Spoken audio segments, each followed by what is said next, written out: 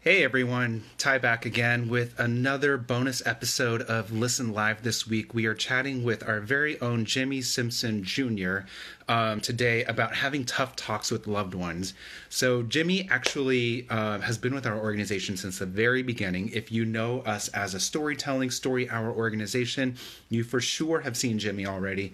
Um, he has hosted all of our galas in the past, and he's also been the MC of our San Francisco Story Hours since the beginning. Um, Jimmy has been really critical in shaping this organization, the content behind it, the strategies um, on how to share stories, on how to effectively talk to people um, in storytelling form, on how to craft a story. Um, and he's actually joined our story coach team um, since in addition to being an MC, and has been working with all of our storytellers since the beginning on formulating their story in a way that is accessible, that reaches out to people, that touches people's hearts and minds. So I'm really excited to have Jimmy on with us today. Um, just to preview, so Jimmy is actually going to be hosting our Listen Live episode this Friday. Um, he will be interviewing a colleague of his and a former colleague of his um, about I'll, well, I'll let Jimmy. Let me add Jimmy now, and then he can talk about. He can introduce the stuff on his own. Um, appreciate everyone for joining in right now.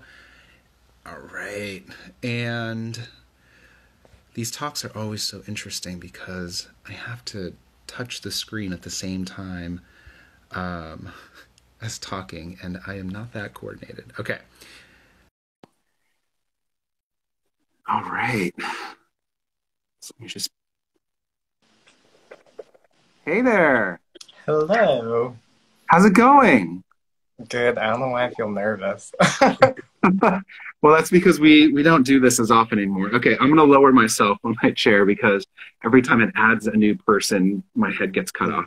Um, thank you again for joining us today, Jimmy. It's really good to see your face. I'm gonna pretend not to talk to you very formally because um, Jimmy and I some of you already know this if you've seen us interact or know both of us interpersonally, but Jimmy and I are friends um, outside of this organization. But Jimmy has also been a huge asset to this organization professionally, um, sitting on the board as one of our board members, um, being a story coach, like I already mentioned, and also just working on the back end, um, helping us develop workshops and developing our methodology. Um, so thank you through and through for the work that you do. And I just want to start off with just a quick check in. Um, I know this is a question that you've been asked many, many times, probably in the last week or two, um, slash month or two, considering all that's been happening. But where's your meter in the world right now? Like, where's the Jimmy meter today? How are you doing? Today, I, I feel good. I feel very present. Um, I luckily have a you know wonderful support system here at home and at work, and so it's been really. I mean, obviously, it's been a whirlwind and tough couple of months, and um, just trying to take it day by day, recognizing when you know my glass is full and I can do the work, and also recognizing when it's time to uh, sit back and re-energize.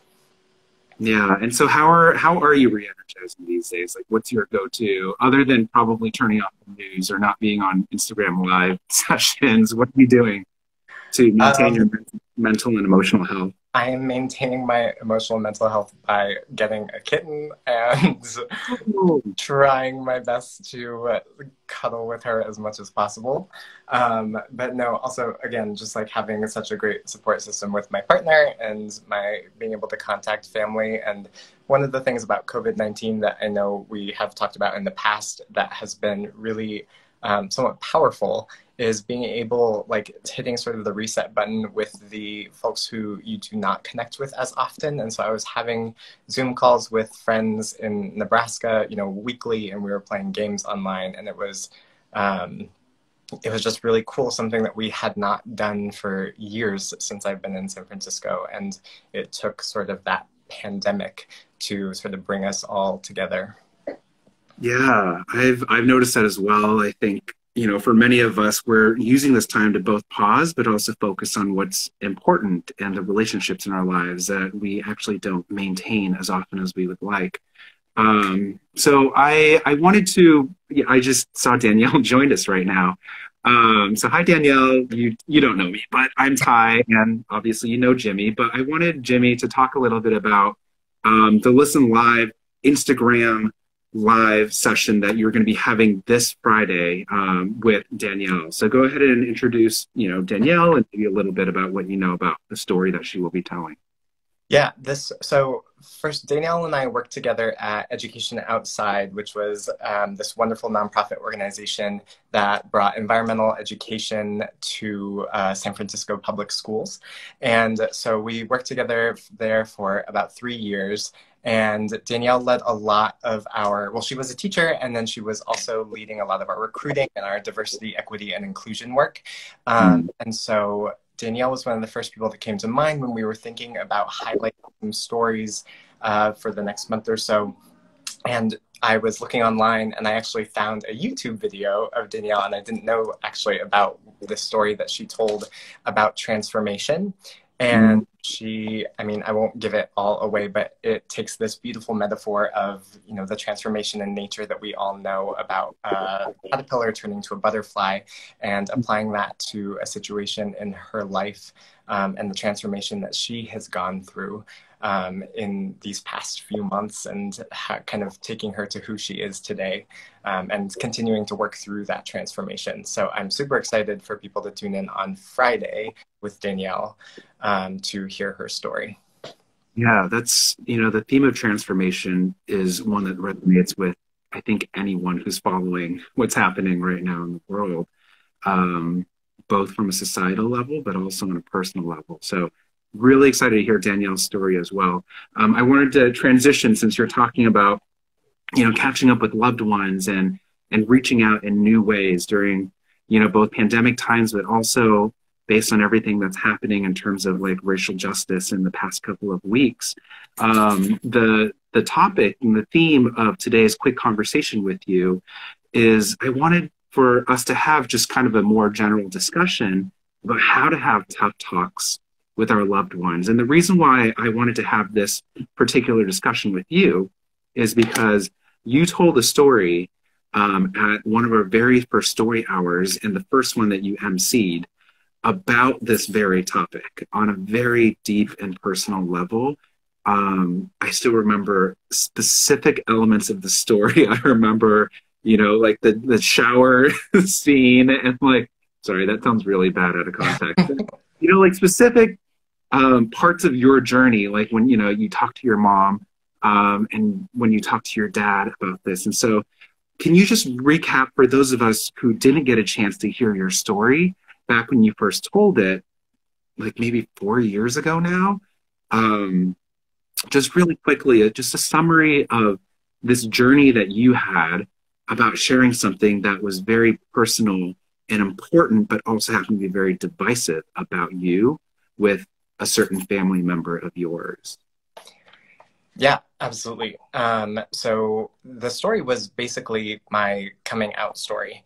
And um, it was so for those of you that don't know, I was born in Hilo, Hawaii, but uh, eventually moved to rural Nebraska, which is where my dad is from.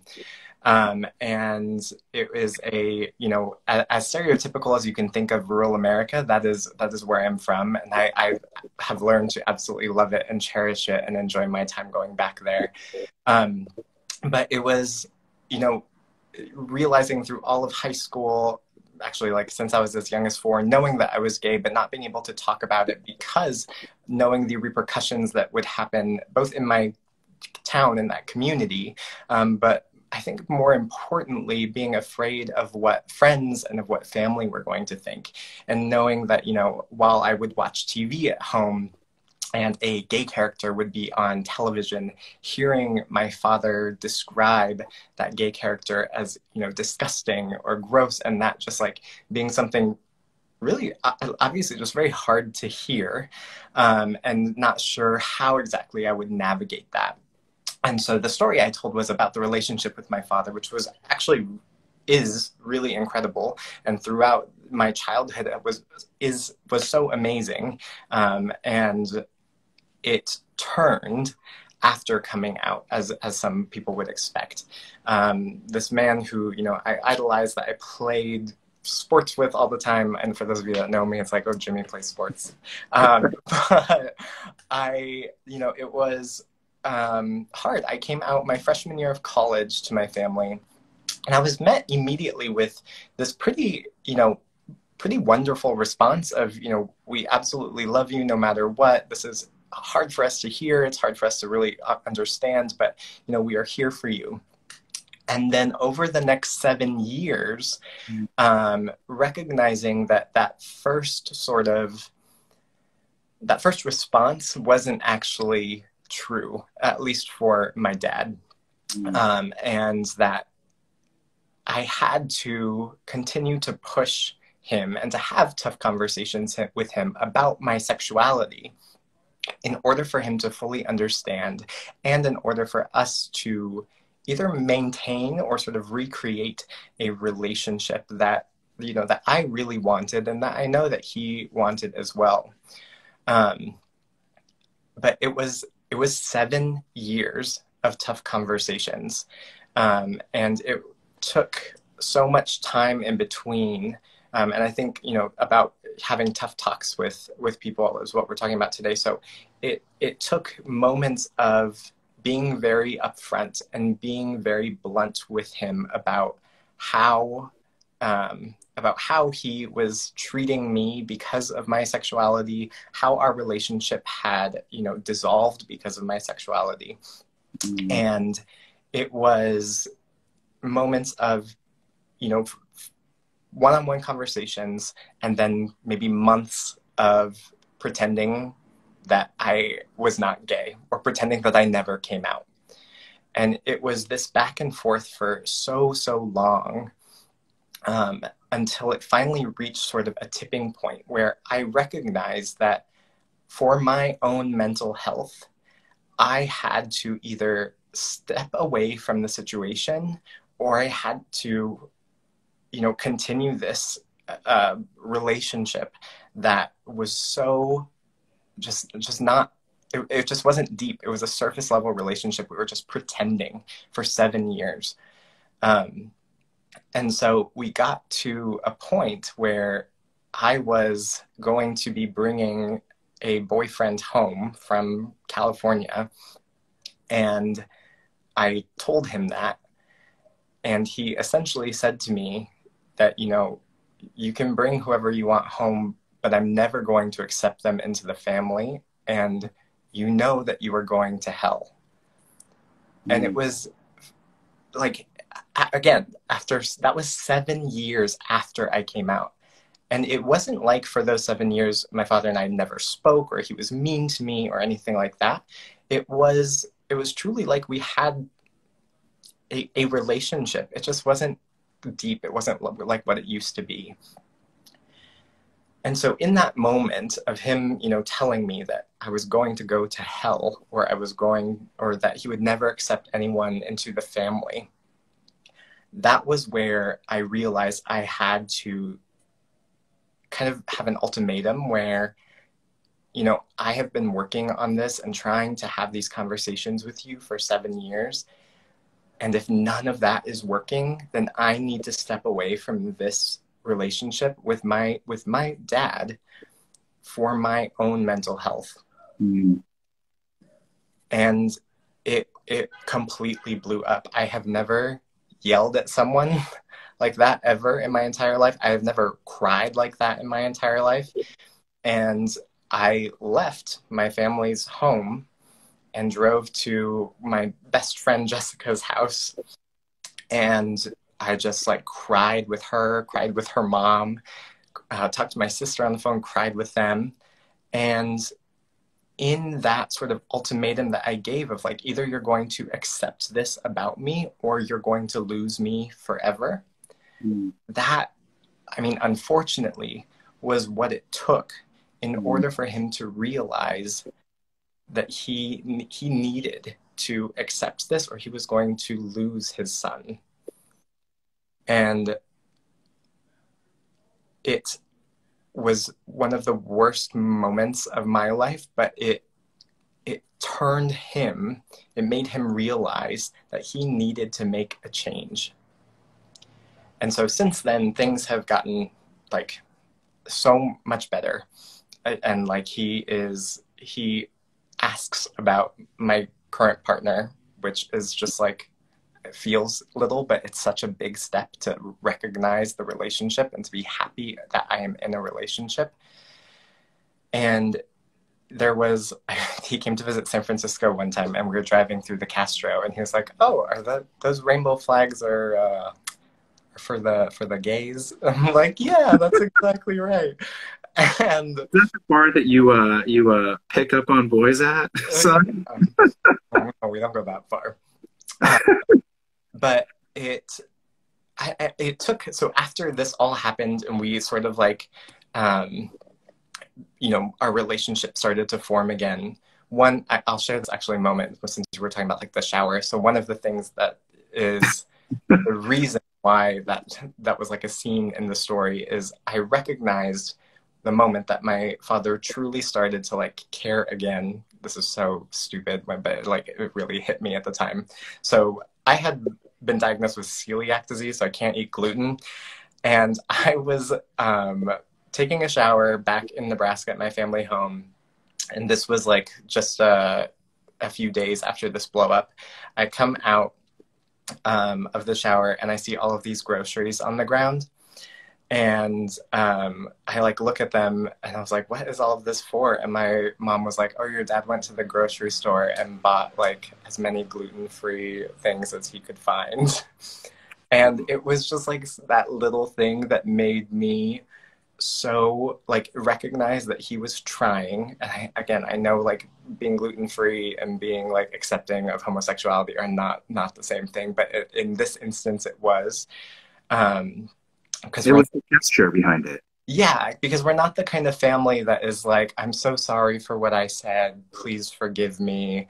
Like let's talk about this more. That is that's not how we interact. But that gesture like really meant something to me. Um, mm-hmm.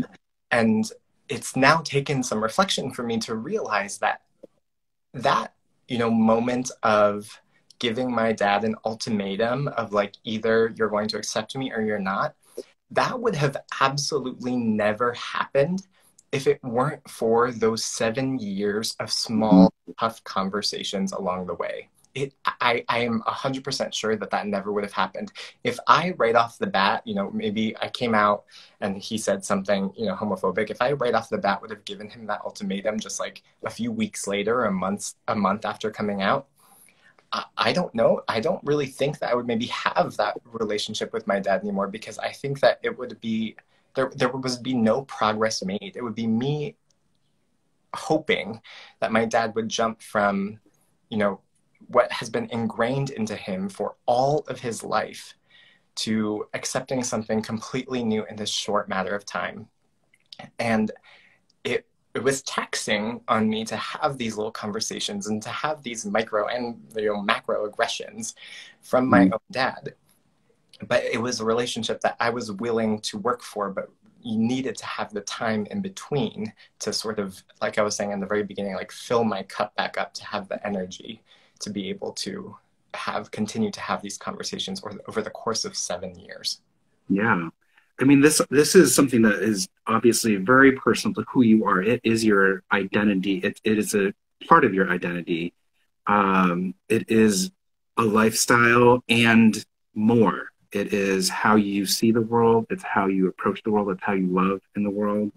And I just want to draw that comparison to a lot of people right now are finding themselves having really tough conversations with family members and about something that they themselves might not identify with.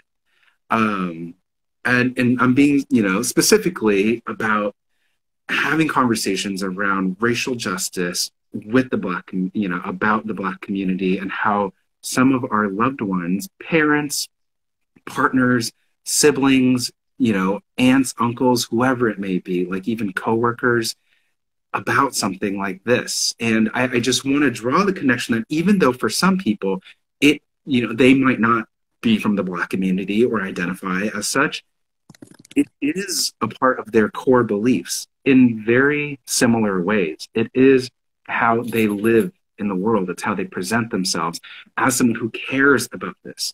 It is a part of their values.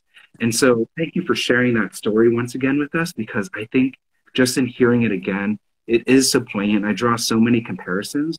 Um, I want to I want to have a quick, you know, discussion about that point that you made of the work that you put in over seven years.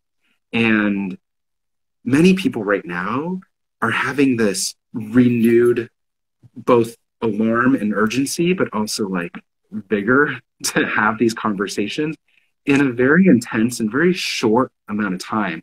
Like, what do you, and I know you don't speak for everyone, uh, but like based on your experience, did you ever feel like previous to those seven years, like you just wanted to have that ultimatum conversation way sooner? Oh, and ab- did you get there earlier? Yeah, absolutely.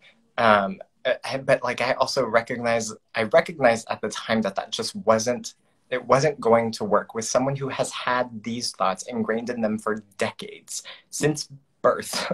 And and it's been you know i mean to my dad's knowledge he had never met a gay person until he knew me. And so it's like it's it's it takes time to have these conversations. And one of the things that really struck me is it was actually on the listen for a change instagram one of the quotes that you that we posted on there about you know if you are a non-black person you do not get to cut people out of your life right now be, if for being racist. It is a time for us to engage with the people who are closest to us to talk to them to challenge them to let them know that they are that they that this is not an acceptable mindset and then to have these little conversations as we go. Because when you first confront that person whether it's a family member or a friend who is saying something you know wild on facebook that first confrontation will probably not go well. And and that's okay. Like the, the point is to start the conversation. And as a non-black person we need to be talking to our family members who can essentially be the ones causing harm and causing violence.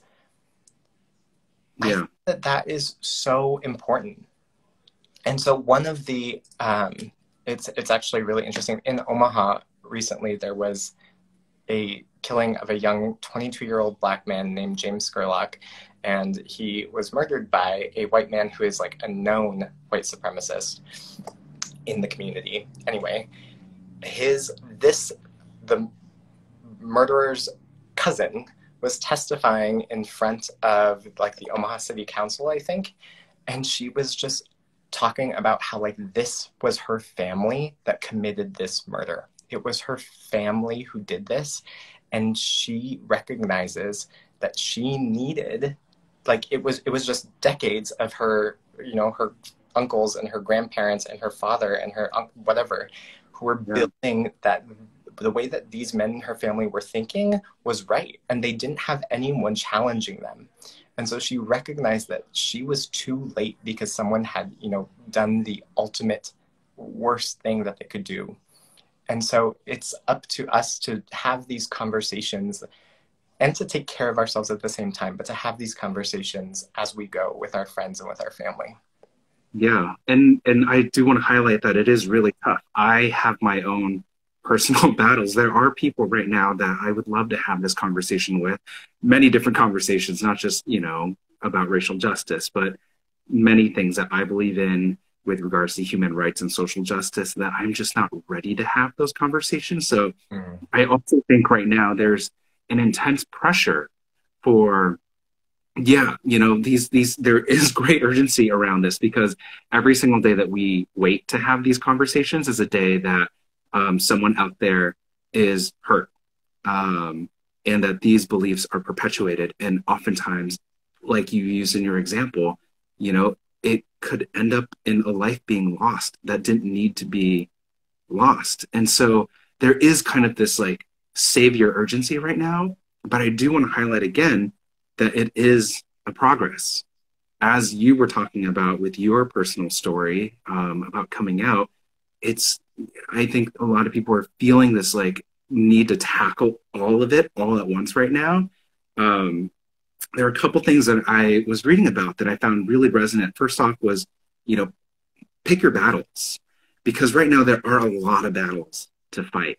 And by battles, I mean specifically within talking to loved ones about, you know, racial equity and justice and and tough topics. It could be other stuff about, you know, homophobia and abortion and whatever else out there that you want to talk about. But right now, specifically pick your battles because there are a lot of people out there right now that we could be talking about these things with. And I think the shouting and, and you know, posting on social media gets to a level of people who are already kind of like feeling a certain way.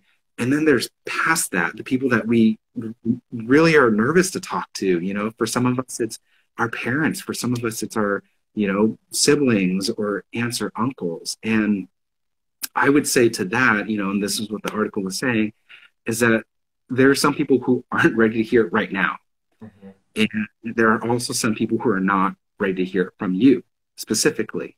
And so that brings me to another point is that we feel like we should be talking to anyone and everyone within our network, but our relationship isn't the same mm-hmm. with it, it isn't equal. The way that you know my relationship with my dad is different than my relationship with my mom and so on and so forth. And so i also you know picked up what i appreciated in this article was it was saying sometimes you might not be that person to talk to that person about that um, if you're if you have a sibling who has a better relationship with them the relationship is just foundational. It is core because without a trusted this is why we need to do that work and not you know joe schmo off of the street because we have that trusting relationship. We've worked at it and that's what you did for your whole life but also for those seven years after coming out. And i i suspect there was a reason why you didn't cut your dad out sooner is because that's a surefire way of never having that talk at all. You weren't sure, and I don't want to speak for you, but maybe you weren't sure that that was the right time. Do you feel like that might have been affecting, like, what was your thought process throughout that whole time? Um, yeah, it was, it was really just, you know, the worst fight of the worst fight to bring this up yeah. again. Like, you were probably tiptoeing around good moments and wondering when you could possibly bring this up the right way. Yeah, absolutely. I think it's it, it, it really is exactly what you just said. And I think one of the things that I want to emphasize for all people is that you have to make sure that you are taking the time to to refill yourself and mm-hmm. you do not have the energy to be fighting and it's just going to be taxing on you and it's just going to affect your mental health, then you need to take a break. You need to step away. You need to give it time. When you're talking to your loved ones, like for in, in my story that I told earlier, I was able to have these conversations with my dad about my sexuality maybe once every like like 4 months or something or even maybe sometimes even longer in between and that was because I valued, I saw someone actually ask this question in the Listen for a Change stories um, about like they want the hardest thing about having these conversations is wanting to maintain the relationship. Right. And the only way that you can maintain the relationship is to build the relationship as you have these conversations. Mm-hmm. And that unfortunately can be super frustrating because you may not be seeing the progress that you want to be seeing in the time span that you want to be seeing it in. But it is so necessary that if you want to maintain that relationship and you want to see that person change for the better that you have those tough conversations take a break for yourself and even for that other person. Come back to it when you feel like you have that energy again. Do it again. And it's just it's just like a rinse and repeat do that over again until you start making slowly making progress because that's the only way that we you know our sort of generation are, are going to be able to change minds is doing it over time mm-hmm. creating empathy for either yourself or for the group or for or for the people that you are trying to defend or talk about and then just chipping away at what this person, this family member, this friend has been learning for years and mm-hmm. chipping away at it and sort of like re educating. Right. That's such an important point um, and thank you for making it. I want to reiterate once once again that one phrase that you said is that you have to continue building the good parts of that relationship as you are preparing and like chipping away at the tough parts of aspects of that relationship. And we we have to keep in mind that these beliefs uh, weren't developed overnight, right? With your dad, you said literally like he was born into this culture from birth. And so we can't expect something that has been ingrained, something that is like a whole lifestyle, a whole value system um, for people, for them to tackle that and to have like the thoughtfulness and the the personal care and the the you know um, stake in it. For them to be able to change overnight it's it's an impossible task. Um, and so that brings me to another point um, that i wanted to make is that oftentimes we use very logical arguments. Like right now right those of us who are following the news and following the memes and all of that we have a lot of the tools and vocabulary now based on what we're learning and educating ourselves on to have very articulate logical well-spoken arguments as to why we believe in this or why this is right. Um, and I'm, you know, I'm, I'm speaking more broadly uh, intentionally because I want to be able to have this apply beyond this moment and also have it be able to apply beyond the issue of racial justice with the Black community right now. Um, but logical arguments don't always work. Like, I mean, with with your personal experience, right? There there wasn't you did the logical argument probably at the beginning of the seven years when you first came out. You were like, this is who I am. I was, you know, and you probably laid out all the logical arguments, and yet those beliefs still stayed. And so, based on you know your experience, what do you think about people who are trying to make very, you know, logical, like well structured, laid out arguments with facts and all of that right now, based on what you experienced on how you tackled your conversation with your dad? Yeah, I think like that those logical ar- arguments can take you so far and eventually you have to appeal to the emotional side of the relationship. You have to figure out what is this person?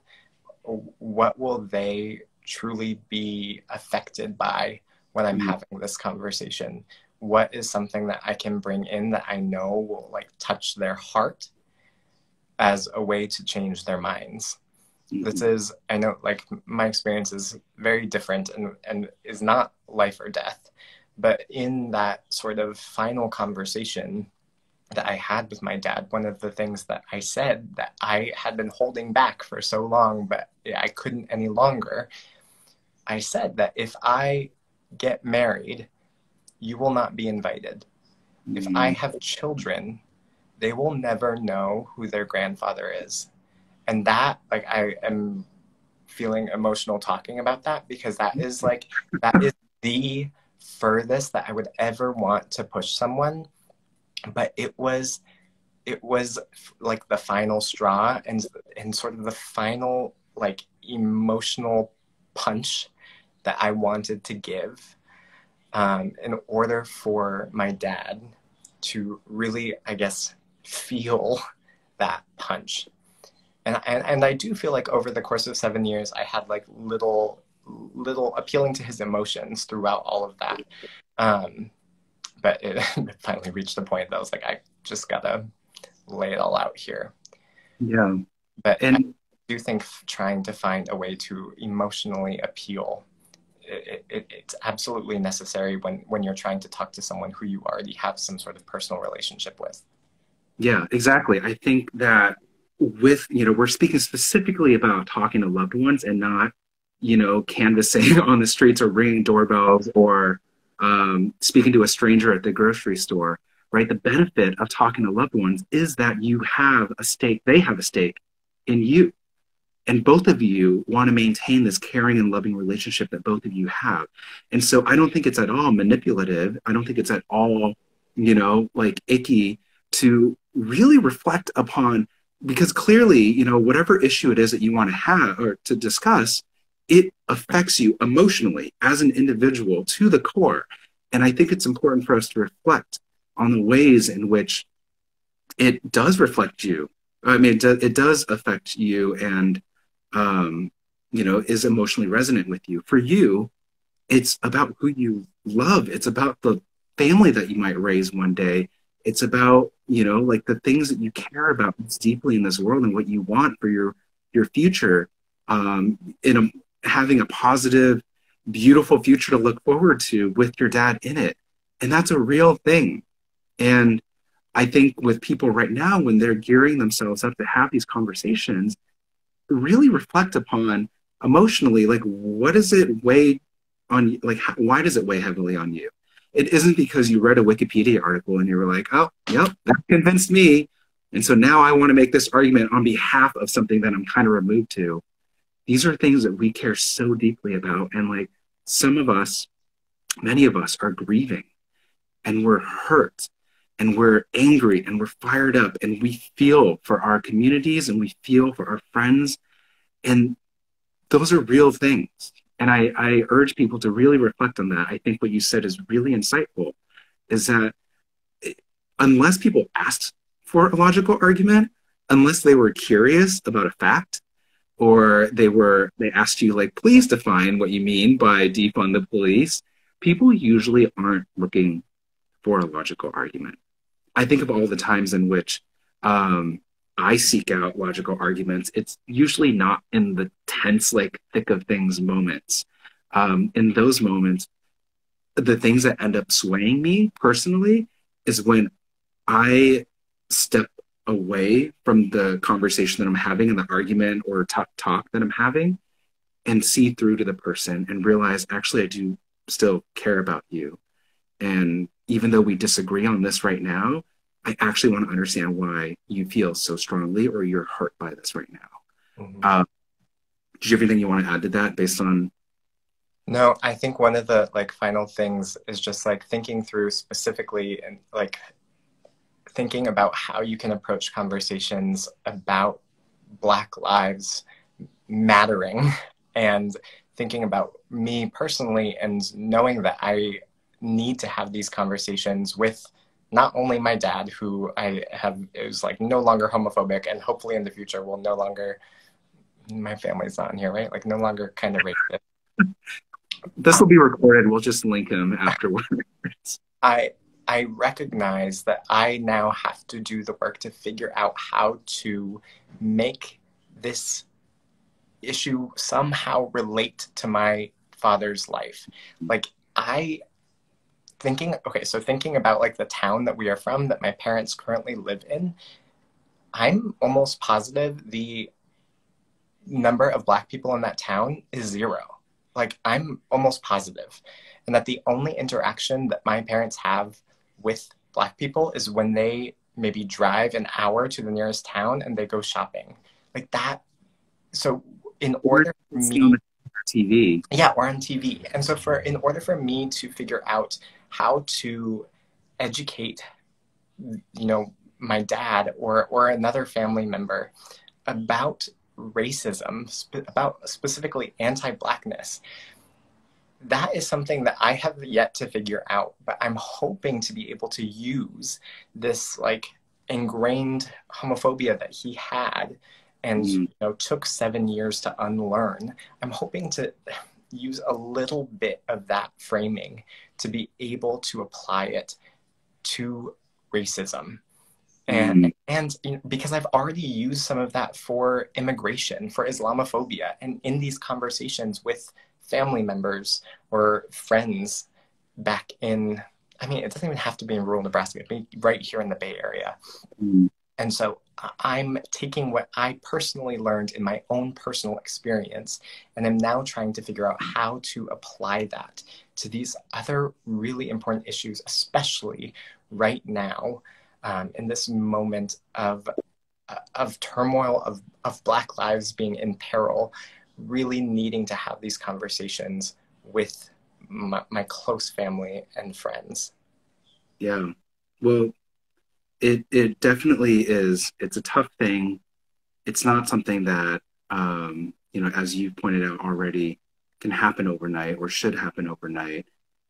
I think it starts with people like us having these talks and and finding the moments and the courage to do it. Um, I want to I want to review some of the things that you discussed today. Um, we discussed um, with regards to having tough talks with loved ones because I know a lot of people on here uh, just joined in, but also could use some of that refresh so that they could go out there and reflect upon the things that you had talked about.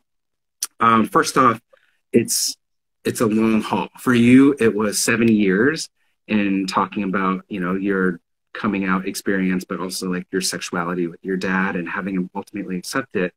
But it takes time. It's not something that can happen overnight. It's not something that they can unlearn immediately. Um, it's something that they have been learning for their whole lives. And so it does take progress. Um, the second thing that I wanted to highlight that you talked about was maintaining a positive relationship with them throughout, or at least as much of it as you can. Building the relationship, building the care and trust between two people, um, while at the same time chipping away slowly at it and not expecting giant truth bombs to change everything. Um, and then the most recent, uh, the third point is being really um, careful about how you approach it in terms of using logic versus emotion, and that there are times in which logical arguments make sense, and that there is a foundation of logic that needs to be laid out and for them to hear and for them to understand. But the long haul and the meaningful um, change comes through emotional appeals and talking about the issue as it personally relates to you and why it is so passionate for you and why it is a human rights, human justice issue that you are affected by um, and touches you. And so, thank you again for joining us. And I know I learned a lot just in talking with you for you know these past 30 minutes, um, as always. And again, um, Jimmy will be hosting this Friday um, a Listen Live Story Hour right here on at Listen for a Change Stories. Um, so tune in um, subscribe. You'll be seeing some marketing from us in the next couple of days. But thank you again, Jimmy. Any final words that you want to share? Uh, my final words are do the work, take some time for self care, and then do the work again. Yeah. Well, awesome. Thank you so much for joining us again today. Um, and for those of you watching, um, you know, our organization, our hearts are with everyone. And during this tough time, we are um, having tough talks within our own organization too about how we can be better and how we can show up better. So appreciate everyone joining. Um, and once again, check us out. Um, Jimmy's going to be hosting on Friday, and we'll see you all later. All right. Bye.